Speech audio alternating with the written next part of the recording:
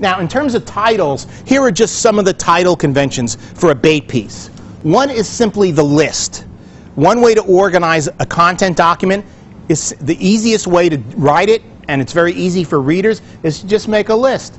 So it might be, I mean, I, had a, I, I knew a guy who had an ad agency that specialized in, in one of the things he did for clients was he did PowerPoints and gave them coaching on presentations. So he had a booklet called 14 Steps to a Winning Business Presentation.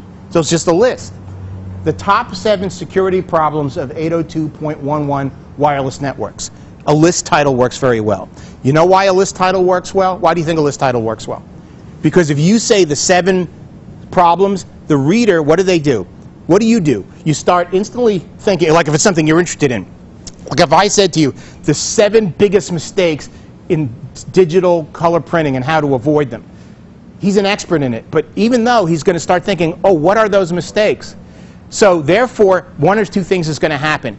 If he, the, the reader won't come up with seven, and they'll say, I got to get it to find out what the other two are, or he'll come up with seven or more, but say, I wonder if their list is the same as my list. So numbers work great. And I've tested this a lot in email marketing, and anytime we put a number in the subject line, click-throughs go way up.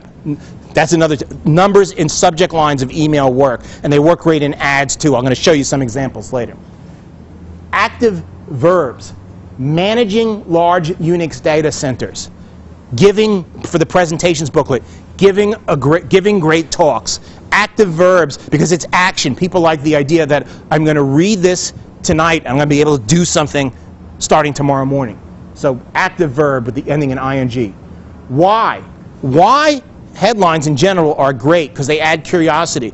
Like we could have just said Six Sigma doesn't work, but then we say why Six Sigma doesn't work, and immediately you're more interested. Well, why doesn't it work?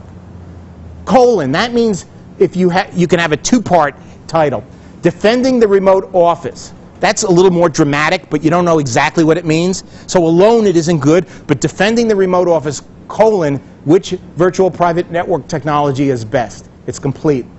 How to. How to always works. I mean, if you go to Books in Print, which is the online directory of published books, like 10% of all books begin with the word how to. People love how to stuff.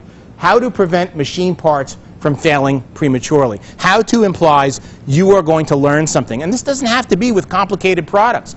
Duncan Hines had for years, I don't know if they still have them, ads running in Family Circle and Ladies Home Journal and those kind of magazines and it was for their chocolate cake mix, but it didn't say, it didn't have a brand name in it. It didn't say Duncan Hines is the best. It said, the headline was The Secret to Richer, Moister Chocolate Cake. They made you think that by reading this ad, you would learn something whether you bought the product in the ad or not. Of course, what you'd learn is the secret is buying Duncan Hines, Duncan Hines cake mix and putting water in it, but it worked. They ran it.